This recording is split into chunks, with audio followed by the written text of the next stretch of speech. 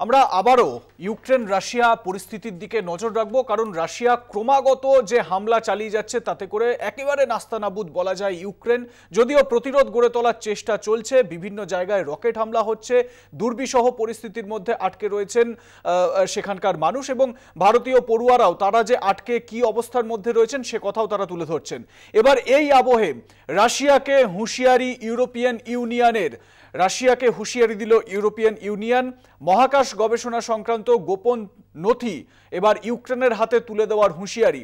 মূলত রাশিয়ার যে সেনা গতিবিধি, কোন এলাকা থেকে সেনা প্রবেশ করছে কি স্ট্র্যাটেজি রয়েছে রাশিয়ার, উপগ্রহ চিত্রে যে সমস্ত ছবি ধরা পড়ছে, সেই সমস্ত ছবি, সেই সমস্ত তথ্য এবার ইউক্রেনের হাতে তুলে দেওয়ার জন্য হুঁশিয়ারি দিল ইউরোপিয়ান ইউনিয়ন। এবং এর জেরে রাশিয়া যে সহজে হামলাগুলো চালিয়ে যাচ্ছে, যে সহজে আগ্রাসন চালিয়ে যাচ্ছে ইউক্রেনের ভূখণ্ডে, সেটা হয়তো হবে না। যথেষ্ট প্রতিরোধের মুখে পড়তে হবে যদি সেই সমস্ত তথ্য ইউক্রেনের হাতে চলে আসে। সেনা অভিযান, সেই অভিযানকে থামিয়ে দেওয়া সম্ভব হবে। এমনটাই মনে করা হচ্ছে এবং ইউরোপিয়ান ইউনিয়নের অন্তর্ভুক্ত হওয়ার জন্য ইতিমধ্যেই প্রেসিডেন্ট ভলোডোমির জেলেন্সকি তিনি সই করেছেন, সেই ছবিও আমরা দেখেছি এবং এই জায়গা থেকেই ইউরোপিয়ান ইউনিয়ন প্রত্যক্ষে না হলেও পরোক্ষভাবে যত রকমের সাহায্য করা যায়, সেই সাহায্যগুলো ইউক্রেনকে করতে চলেছে এমনটাই খবর পাওয়া যাচ্ছে। আমরা আবারও যোগাযোগ করেছি আমাদের প্রতিনিধি দিব্যেন্দু ঘোষের সঙ্গে, কথা বলব তার সঙ্গে। দিব্যেন্দু আর কি কি আপডেট এই বিষয়ে উঠে আসছে যদি বিস্তারিত জানাও? দেখো আপডেট বলতে যেটা, সেটা হলো যে এই মুহূর্তে কিবের কি পরিস্থিতি? অর্থাৎ ইউক্রেন এই মুহূর্তে কি পরিস্থিতি?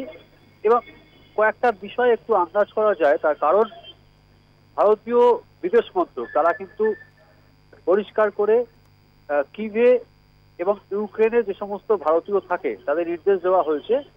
আজকের মধ্যেই কিপ ছাড়তে, অর্থাৎ ইউক্রেনের যে সমস্ত সীমান্ত এলাকাগুলো রয়েছে মানে পোল্যান্ড রোমানিয়া, হাঙ্গেরি, এ সমস্ত যে সীমান্ত এলাকা, এই সীমান্ত এলাকাতে ভারতীয়দের খুব দ্রুত চলে যাওয়ার নির্দেশ দিয়েছেন।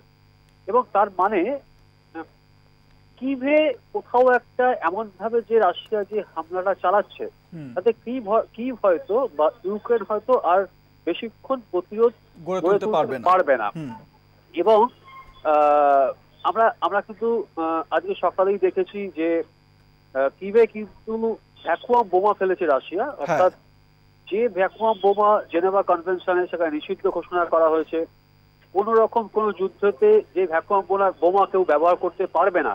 কিন্তু সেই সমস্ত আন্তর্জাতিক নিষেধাজ্ঞাকে যা তুড়ি মেরে উড়িয়ে দিয়ে পুতিন কিন্তু ফাদার অফ অল বোমস যেটাকে বলা হয় ফাদার অফ অল বোমস এই ভ্যাকুয়াম বোমা কিন্তু কিবে ফেলেছে? এবং আমরা দেখতে পেয়েছি এর আগে যেটা হচ্ছিল যে সামরিক ঘাঁটিগুলোকে টার্গেট করে মিসাইল হানা হচ্ছিল সামরিক ঘাঁটি টার্গেট করে রাশিয়া রকেট হানা চালাচ্ছিল। কিন্তু রাশিয়া যেটা দাবি যে সামরিক যে সমস্ত ঘাঁটি ইউক্রেনে আছে সেই সমস্ত সামরিক ঘাঁটি কিন্তু কার্যত তারা গুড়িয়ে দিয়েছে। কোন রকম কোন সামরিক ঘাঁটি কিন্তু আর অস্তিত্ব নেই। এটা রাশিয়ার দাবি যদিও। এবং আমরা আর একটা জিনিস দেখেছি যে রাশিয়া যেভাবে কি খারকি সেই দিকে এগোচ্ছে রাশিয়ার সেনা। একটা বিস্তৃত এলাকা জুড়ে দেখো এই রাষ্ট্রপুঞ্জের সিকিউরিটি কাউন্সিল বা নিরাপত্তা পরিষদে রাশিয়ার ইউক্রেন দখল, দখলের উদ্দেশ্যে। এবং এই পরিস্থিতিতে দাঁড়িয়ে রাশিয়ার সেনা কিন্তু যে ইউক্রেনের সরকারি অফিস, সরকারি দপ্তর, বিভিন্ন সিনেমা হল, সেই সমস্ত জায়গাতেও কিন্তু মুহুর্মুহু হামলা চালাচ্ছে। অর্থাৎ সব দিক থেকে ইউক্রেনকে একদম শেষ করে দেওয়ার যে পরিকল্পনা, সেই পরিকল্পনা মাফিক কিন্তু রাশিয়া কাজ করছে। এবং একটাই লক্ষ্য যে কিভ দখলে নেওয়া। এবং কিভ দখলে নেওয়ার পরে যেটা হতে পারে ইউক্রেনের যিনি প্রেসিডেন্ট অর্থাৎ ভলোদিমির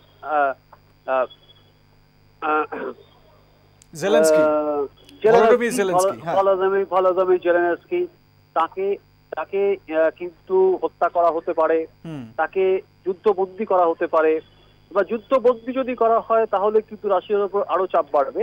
সুতরাং যুদ্ধবন্দী না করে যদি এই যে হানা চলছে তাতে যদি জেলানস্কিকে মেরে দেওয়া যায় তাহলে কিন্তু যে প্রতিরোধ এই যে গত ছদিন ধরে যে প্রতিরোধ ইউক্রেন করছে সেই প্রতিরোধটা কিন্তু নষ্ট হয়ে যাবে। এবং রাশিয়া কিন্তু এটাই চাইছে। রাশিয়া চাইছে ইউক্রেনকে যেভাবে হোক তাদের পাগে নিয়ে আসা তাদের কবজায় নিয়ে আসা। কেননা আমরা কিন্তু গতকালই দেখেছি এই যে ভালো ভলোদিমির জেলেনস্কি ইউক্রেন প্রেসিডেন্ট তিনি কিন্তু ইউ অর্থাৎ ইউরোপীয় ইউনিয়ন ইউ এর অন্তর্ভুক্ত হওয়ার জন্য তিনি ইতিমধ্যেই সই করে দিয়েছেন। কোনোভাবে যদি এই পরিস্থিতি দাঁড়িয়ে নেটো অন্তর্ভুক্ত হওয়ার জন্য আহ, জেলেনস্কি যদি সই করে দেন তাহলে কিন্তু সবকিছু হাতে বাইরে চলে যাবে রাশিয়ার। তো তার আগে যে করেই হোক কিপ দখল করতে হবে। আহ, জেলেনস্কিকে হয় যুদ্ধবন্দী করতে হবে তাহলে মেনে মেনে দিতে হবে। এইটাই কিন্তু রাশিয়া চাইছে এবং রাশিয়া কিন্তু ক্রমাগত সেই লক্ষ্যে এগোচ্ছে। এবং কার্যত কিভের সমস্ত প্রতিরোধ মানে জেলেনস্কি গত ছদিন ধরে তিনি যে প্রেসিডেন্সিয়াল বিল্ডিং সেখানে রয়েছেন তার সেনা মুভমেন্টকে তদারকি করছেন সেনাদের পাশে আছেন তাদের মনোবল বাড়াচ্ছেন তাদের মনোবলকে চাঙ্গা করার চেষ্টা করছেন এবং ইউক্রেনের সেনা তারা কিন্তু মুহুর্মুহু প্রতিরোধ করার চেষ্টা করছে। কিন্তু সেই চেষ্টা কত পর্যন্ত থাকবে সেটা কিন্তু পরিষ্কার নয়। তার কারণ যে কোনো সময় কিন্তু প্রতিরোধ ভেঙে পড়বে। এবং যদি এই দাবি সত্যি হয় রাশিয়ার যে দুশো তেত্রিশটি সামরিক ঘাঁটি যদি সম্পূর্ণ ধ্বংস করে দেওয়া হয়ে থাকে তাহলে কিন্তু ইউক্রেনের প্রতিরোধ আর বেশিক্ষণ থাকবে না। এবং যেটা আমি আরেকবার উল্লেখ করতে চাইব যেটা গতকালও আমি বলেছি যে আহ, রাশিয়ার যে প্রতিরক্ষা মন্ত্রক রাশিয়ার প্রতিরক্ষা মন্ত্রকের এক উচ্চ পদস্থ আধিকারিক তার সেই এখান থেকে একটা খবর এসেছিল সেই খবরটা কিন্তু পাওয়া যাচ্ছে যে দোসরা মার্চ অর্থাৎ সেকেন্ড মার্চের মধ্যে যে করেই হোক হুম। দখল করতে হবে এবং যদি এই দাবি যদি সত্যি হয়ে থাকে এবং যদি এরকম কোনো বার্তা পুতিন আহ, দিয়ে থাকেন তাহলে কিন্তু পরিস্থিতি সেই দিকেই কিন্তু এগোচ্ছে। এবং সেই লক্ষ্যেই যে রাশিয়ান সেনা এগিয়ে চলেছে সেটা স্পষ্ট। আমি একটা বিষয় তোমার কাছে জানতে চাইব সেটা হচ্ছে কি এই যে যে কথাটা তুমি বললে সামরিক ঘাঁটিগুলো ধ্বংস করাই হচ্ছে রাশিয়ার মূল টার্গেট। এবং রাশিয়ার তরফ থেকে আহ, রাষ্ট্রপুঞ্জের যে নিরাপত্তা পরিষদে এই ন্যারেটিভও দেওয়া হয়েছে যে পরিকল্পনা মাফিক কোনো ধ্বংস নয় শুধুমাত্র সেখানে সেনা সামরিক ঘাঁটিগুলোকে নষ্ট করাই হচ্ছে মূল লক্ষ্য। কিন্তু আমরা দেখতে পাচ্ছি খার্কিভে প্রধান সরকারি ভবনে রকেট হামলা হচ্ছে, এমনকি সাধারণ মানুষের বাড়িতে রকেট হামলা হচ্ছে। তাহলে রাশিয়া যে কথা বলছে আর আদপে যে কাজ করছে, তার মধ্যে বিস্তর ফারাক।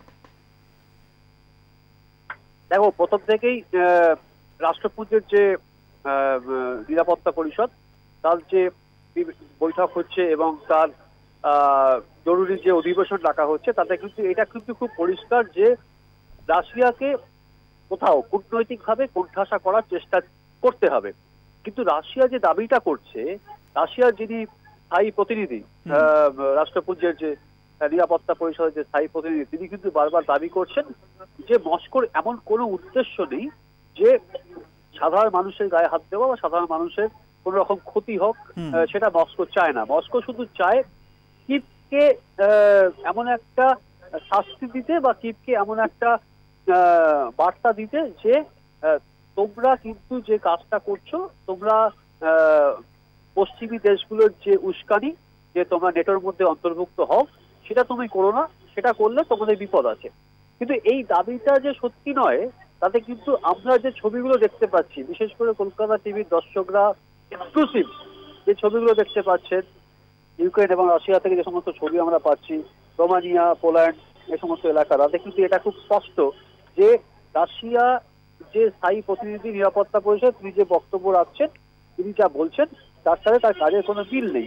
তার কারণ কিভ এবং খার্কিভ এই যে দুটি মূল শহর কিভ হচ্ছে ইউক্রেনের রাজধানী এবং সবথেকে অন্যতম বড় শহর খার্কিভ এই দুটো জায়গাকে কিন্তু শুধুমাত্র সামরিক ঘাঁটি নয় যেখানে কিন্তু বিভিন্ন অ্যাপার্টমেন্ট বিভিন্ন বাড়ি বিভিন্ন সরকারি অফিস সেখানেও কিন্তু হামলা চালাচ্ছে রাশিয়া। অর্থাৎ এমন ভাবে রাশিয়া পরিকল্পিতভাবে পুরো কাজটা করছে যাতে কোনোভাবেই আর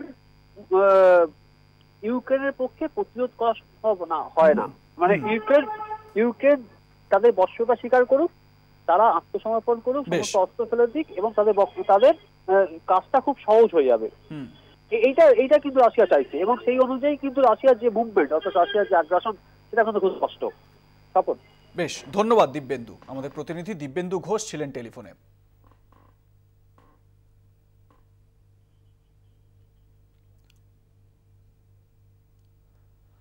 ইউরোপীয় ইউনিয়নের হুমকি, রাশিয়াকে সেনা অভিযান এবং সেনা গতিবিধির তথ্য ইউক্রেনের কাছে তুলে দেওয়ার হুঁশিয়ারি ইউরোপিয়ান ইউনিয়নের। এদিকে, রুশ সেনা এগিয়ে চলেছে রাজধানী কিভের উদ্দেশ্যে।